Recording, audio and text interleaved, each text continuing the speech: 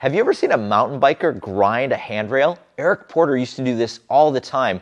And the craziest thing is that he did it without pegs. So he would grind on his suspension fork, and then he would also take his rear disc rotor off so it wouldn't rub against the handrail. So not only was he grinding the rail pegless, he was also grinding it brakeless.